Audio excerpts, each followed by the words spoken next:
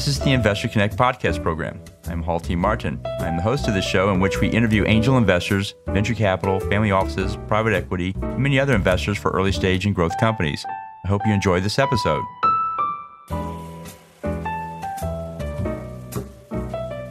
Investor Connect is a 501c3 nonprofit dedicated to the education of investors and startups for fundraising. Please consider donating $100 to the program to help others in their investor and entrepreneur journey. You can find the donate button on the investorconnect.org website.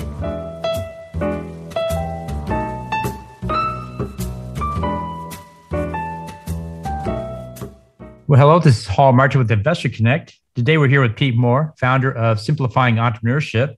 Pete, thank you for joining us. Thanks so much for having me, Hall. I'm looking forward to a great conversation here today. Great. So, where are you calling from today?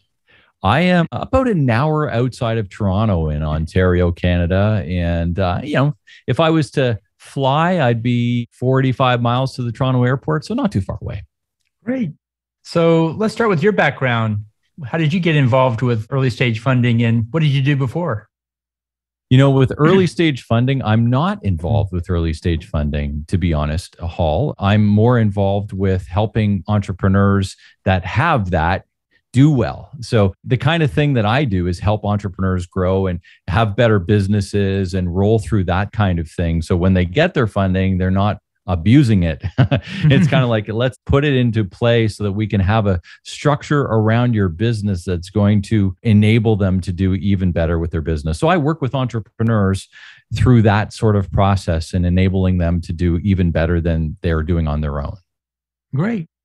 So how should an investor analyze a startup to invest in? You work with a lot of startups and you know what yeah. uh, where they are with it. How would an investor look at these deals and make sense of it?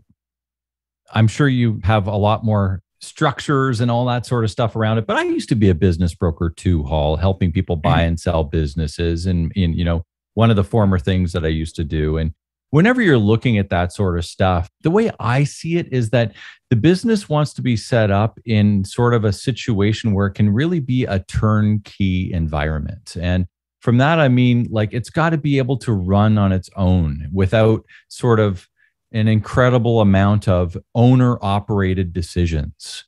And that's when it becomes really an investment to me. Up until then, it's really kind of like, hey, this if the owner or the, you know, the leader of the organization is out of the picture, we really don't have a business here. And it's really not worthy of a big investment because people are really just buying a job. And in that case, when does it turn from a job to an investment? Well, it turns from a job into an investment when you have the structures in place that allow it to run on its own without its primary leader. Great. And so, how do you get to that place where a startup runs on its own itself? What do you have to do to get there? Well, you know, that those first 1 to 3 years for every business is kind of crazy. You know, you're just you're mm-hmm. just in it and you're going through that. But as you get further down that path, then you're really trying to align what I call turning some of those frustrations of overwork and overwhelm and all this other stuff into frustrations into freedoms. And how do you do that? Well, you do it through what I call my 5P process, which really starts, and I'll just outline those five Ps. We can kind of dig into them wherever you like, depending on your audience and what you think they want to hear. But it starts with the promise of the business, and then it gets into the full alignment with the people the product and the process of that business in order to generate the profit. And that's when we're talking about the investment side of things, right? Whenever we invest in things, we want to see a profit. So, from that perspective, we need full alignment with the promise, with the product, with the process, with the people, so that that profit is generated. Great. Well, let's start with the promise. I guess mm. what is involved in creating a promise to the investor? The biggest thing whenever we create a promise is we roll into this idea around what's the problem being solved. So, who's your unique client, right? And what problem are you solving? And then, what is the unique solution to that problem? And then, what does their life look afterwards? So, if we're talking about the business that we're looking at investing in, for example, what is their promise? what problem are they solving for their customers? How is their solution any different from anybody else's? What's unique about it and what's different? Is it quicker? Is it better? Is it more efficient? Is it cheaper? Is like all of those different things. What's making that solution different than any of their competition? And how does it align with making their life better? Because everybody that buys something, whether you're investing in something or whether you're buying something, a good or a service, you're always buying a better future. When we're investing our dollars, we want a return on that. When we're buying a good or a service or a trip away, we're thinking about what it is down the road and how our life is going to be better because we've spent our money. So ultimately, what is that promise? And so many businesses don't have it nailed. They don't f- fully understand what it is that they're the problem that they're solving in alignment with the product, in alignment with how does it make their life better, the client's life better. And that's a lot of the times there's just disconnect there, Hall. And it, it's they think they have it worked out, but they're wondering why this isn't working. It's often because there isn't a real good alignment there. Right.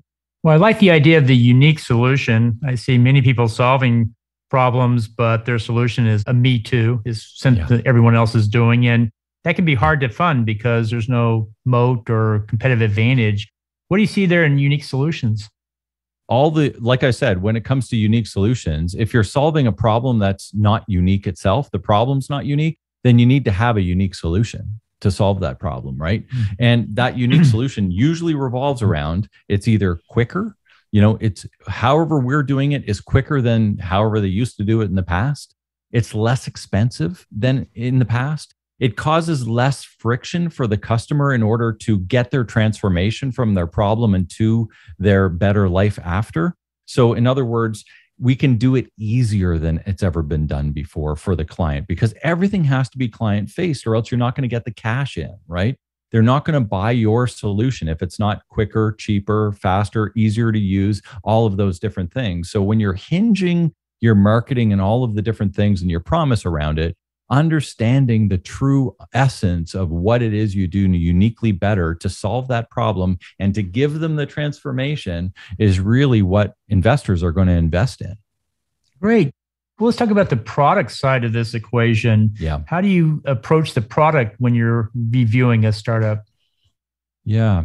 I'm always looking at any of these things uh, all in full alignment with the promise. So f- that first start is what's the problem or what's the promise? And then we're looking at the product or service, you know, some I'm using P words, so we're talking about product here today, but you know whether it's a product or a service does the service fully align with the promise? And again we're missing some there's often some gaps there.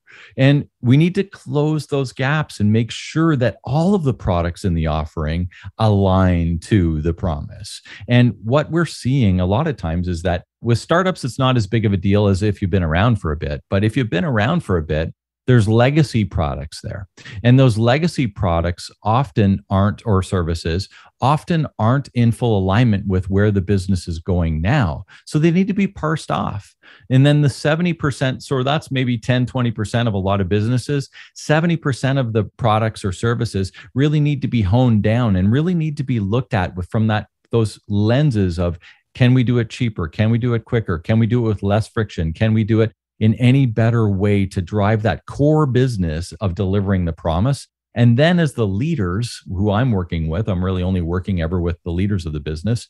The leaders and are always looking for those new things that are coming down the pipe that they see in the horizon when they're working on their business, not in it, that are going to develop into the core products that deliver the promise.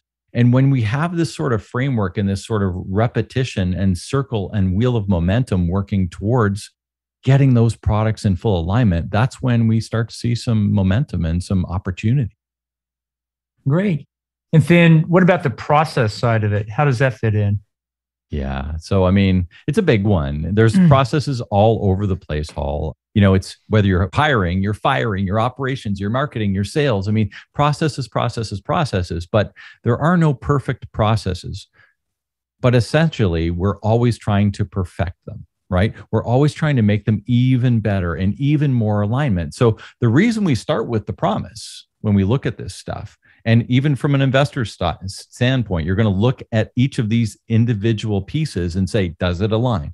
Does it align? Are those processes aligning with the promise? Are our customers getting service at the lowest possible level in our organization? So when I say that, I mean, you know, if somebody's coming in the door and asking a question, but that service representative can't actually answer it and has to go back up the chain of command, then that customer is not being served properly. They're not getting the service that they need. They're not going to come back.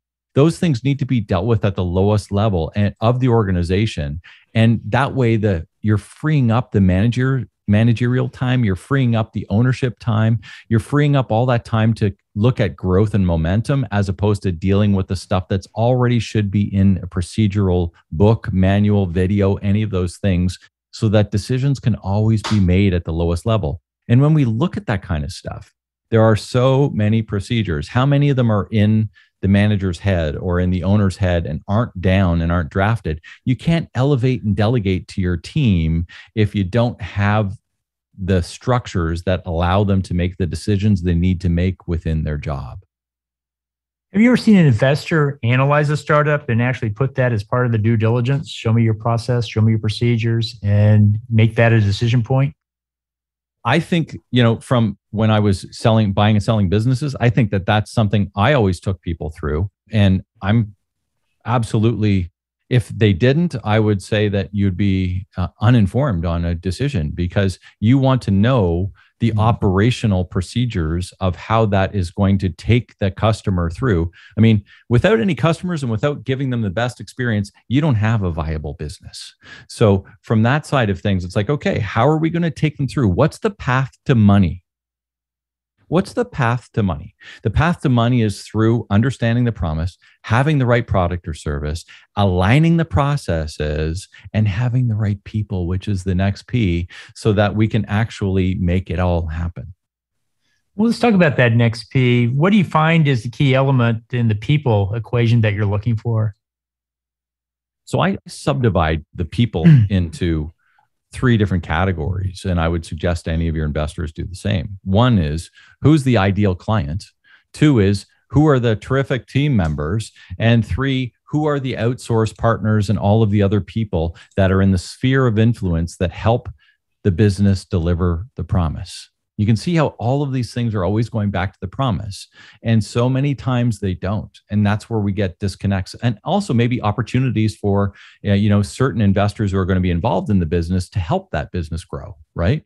So when we look at this kind of thing, so who is your ideal client? I'm sure that anybody listening to this podcast now has had the worst ever client down in their past and they can probably remember that person by their first name and last name and they have the best. And it's like, oh, you know, Mr. or Mrs. Smith, worst client ever, never want to see them again.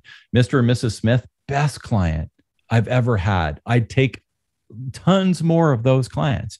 How are you separating those apart? How are you attracting the best ever? How are you repelling the worst ever? Because it's just as good to repel as it is to attract. We want to focus in on who those best clients are and really understanding them. And we're doing the same, by the way, for our team members. Who's the best ever team members? Who's the worst ever team members? So when we write our script, when we set the process of hiring somebody new, we're always attracting the best people and we're always repelling the worst. Let them go somewhere else where they belong, as opposed to coming into your organization where they don't. Doing the same with wholesalers, outsource partners, all those other. I'm, I own some shoe stores. So, you know, I, I've got a few different businesses, but with the shoe stores, it's like we're aligning mm-hmm. with the brands and the businesses that are going to provide us with the product that helps us deliver our promise, which is in our shoe stores to provide our customers and when they're leaving the store to make them look great and feel fantastic. So our brands all have to align with that promise. And if they don't, we're disconnecting to our customer and client base and we're disconnecting to our team and we're disconnecting to the wholesalers so all of those people in that sphere of influence in delivering the promise it it doesn't make sense it doesn't add up so we're always trying to connect these linkages and make them even better with our processes great and then the final P there is profit. And yeah. most startups don't have profit, but how would you view that? Yeah. So what's the path to profit, I guess, is is how I would view it from a startup position mm-hmm. hall. You know, okay, so we may not have profit now, but show us the direct path to profit. And so when I look at that, you can use these first four P's as your path to profit. It's the pathway in order to deliver back what you're expecting to see. And the better that's structured, the better it's in alignment, the more sure and confident you're going to be. Because, you know, I have this model called the wheel of momentum. And, you know, one of the things I talk about a lot is this idea that clarity creates confidence and confidence ignites momentum. So if you're getting clarity through these processes, through the people, through the product, through the promise, you've got clarity on that. Then you're going to have confidence. And as an investor, we want to have confidence in what we're putting our money into. So if I'm feeling confidence, I'm seeing the momentum happen. And my job then is made a lot less easy because, or a lot easier because I have the ability to make a decision based on the confidence of the alignment of all of these things. Great. Well, that's a great model for investors to use to analyze startups. It's very thorough. What's the most important lesson you've learned in putting this together?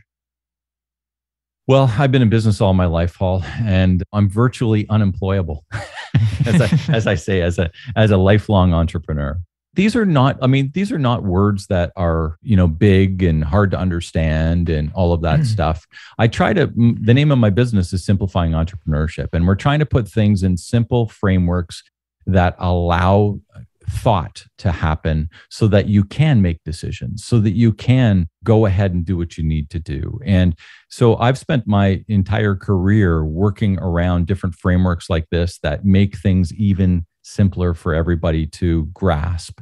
And when I look at that kind of stuff, if I can make decisions easier based on a simple program like this, why would I ever want to use something that's a lot more detailed? Because I get my head around what I need to look at. I need to look at the product. I need to look at the process. I need to look at the people. Then I can actually focus my energies and my thoughts around those areas and dig deeper as I need to based on my confidence level. Right. And it's all based, I mean, when you're investing, it's based on confidence. Great. So, what's a common myth about entrepreneurship? Common myth? Well, I think one of the common myths is that entrepreneurs can live the life that they want to lead and and you know uh, have a place in Hawaii and ski the next weekend in Vail and drive the Lamborghini and never work. And I think that you know although what I coach is getting your freedoms back and getting some of your time back and getting some of those things back. That's what I coach to every day. The reality of it is, especially in the startup side of things, that those, like we said, those first three years are a little crazy, you know, 50, 60, 70, 90 hours a week. All of that kind of stuff is pretty normal. And a lot of people who say, oh, you're an entrepreneur, you got it made, don't really see how much work and how much effort and how much stress can be involved on the backside of that stuff. So I think the truth is a lot of entrepreneurs are going through that, but everybody sees it as they've got the good life and you know they've got a nice house and all this kind of stuff or whatever the case is but you know there's a lot more to it than that. Great. So what online information source do you find most helpful in your work so for me, I mean, I'm we're on a podcast here. I listen to a ton of podcasts. I really do. I just love podcasts. I love conversation. I love I have certain favorites for sure. I mean, we could outline them or put them in the show notes, but there's a ton of podcasts out there, some great stuff, good conversations, lots of learning. And I think the big thing with any podcast, or if you're watching the video, I get books behind me and I read a lot and that sort of stuff too. But the big idea behind any of this stuff is and I've got a little framework around this too. I call it the entrepreneurial IPA. You can ideate all you want, you can postulate all you want, but there comes a time where you need to activate, right? And as much as we listen to these podcasts, as much as we read books and absorb other information, we can think about it and we can him and haw and determine things. But until we actually activate, and that's the leadership, that's the leader's job you need to put things in action so that things happen. And that's where a lot of procrastination happens. So, pushing through that procrastination into the activation stage is such a key piece on any of that knowledge product. Well, that's great. Well, if you could start a business tomorrow, aside from the one you're doing now, what business would that be? I've started a lot of businesses, Hall, over my life, uh, bought and sold and built and uh, failed too. So it's one of those things that I'm always thinking about different ways of doing things. And right now, because I'm so sort of in the podcast side of things, I'm seeing a lot of inefficiencies in podcasts and a lot of in, inefficiencies in some of the ways that we connect and some of the ways that you know you can run different systems. So I might entertain actually looking at something around podcasting that's going to make podcasters and guests and all of that sort of thing a lot easier and a lot less, you know, a lot more simple. I'm all about simplicity. It's like, let's make this easy. More about uh, connecting podcasts with uh, guest speakers. Is that what you're thinking about, or is it something else? Well, no, more like there's some good programs there. In fact, we uh, hopped on one called Podmatch, which is a great system. And I use it all the time. It's really good. Alex does a great job with it. But more about, okay, now that the interview is done, what do we do now? And how do we put that in place? And how does it get edited, morphed down? How does it get broadcast? What are we going to do? How can we use other content around it? What can we do to create blogs off it and create, you know, a 15 minute podcast? I host the Simplifying Entrepreneurship podcast. And from that perspective, I've got it down to okay, I've had a 15 minute podcast. Now I've got an email generated off it, a, blog generated off it, the podcast itself in video format and audio format, all of these different things, clips built off it. But my job as the podcast host was to have a 15 minute conversation. Oh, it right? sounds great. Not all the other stuff. As yeah. a podcast producer myself, I would really love a tool like that. We have quite a few people doing quite a few steps individually to make it all come together. And it seems like there's some automation that could make some of that much more efficient. When you get there, let me know. I'm, I'll sign up for that. uh, Sounds great. Well, there we just created a new business. That's how long it takes. there you go. Well, in the last few minutes that we have here, what else should we cover that we haven't? Well, whatever you think we didn't dig into, Hall, I mean, from my side of things, we could tell a lot more stories on all the five P's and how they've affected and all that other stuff. But I think we've given our audience here a little idea of a scope of some of these things. And I think that's the important piece. As an investor, it's not just about digging into the financials of something. And the financials are an important piece. There's no doubt. Like, let's face it, there it's an important piece but it's also understanding some of the soft areas of the business. It's also understanding where their alignments are and where the improvements need to be made because a lot of investors are also on the board of directors or other areas of involvement within the business itself too and it's like where can you be most service to help this business grow so that your investment's going to grow even more. And I think that's the kind of thing that's really interesting when you start looking at some of these other areas in a simple format that you can just kind of do repetitively in any business that you look at. Just pull out the five P's and, like, okay, I'm putting this down, put them on a spreadsheet, put one sheet for each mm-hmm. one of them and jot your notes. And, and you're going to have a pretty clear framework as to what's green, red, and yellow. That's great. I'd love to see some deal flow platforms that fill that out for you already, just to show you what's yeah. there in actual occurrence. It, it, can be tough sometimes looking at startups because there's so many futures on there. I'm constantly trying to separate out what is there now versus what will be there someday in the future. If you don't have that baseline, it, it's hard to have context in which to base their forecast on. If I don't know where you are today, how will I know you will you you will get there tomorrow? And so to have somebody analyze that would be really useful. I think when we look at this kind of stuff, if they can't answer those questions, then you're wondering about their ability to grow. I find the challenge is they can answer it, they just don't want to. I asked well, them about their you- revenue and they they talk about their forecast. And I came up with the rule of three. My rule of three is if I ask that question three times and I don't get an answer, well, then it goes down in the book as a zero. As for your revenue, and they talk about their forecast. As for the revenue, they talk about their forecast again. And and on the third pass, if I, I can't get to a number, then pretty much the answer is zero at that point. And so I just write that down. So I find that's the, the most time I spend in startups is trying to get down to what is really there. But like you said, I, I really just can't do this forever. I, at some point, we yeah. have to move on. Yeah. And I mean, you can literally send out a framework around this and say, here are five things that I'm interested in.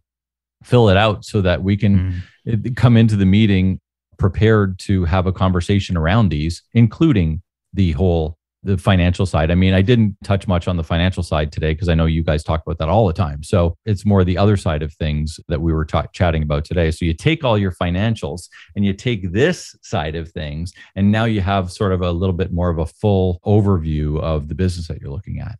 Absolutely. Well, this is great information. How best for listeners to get back in touch with you?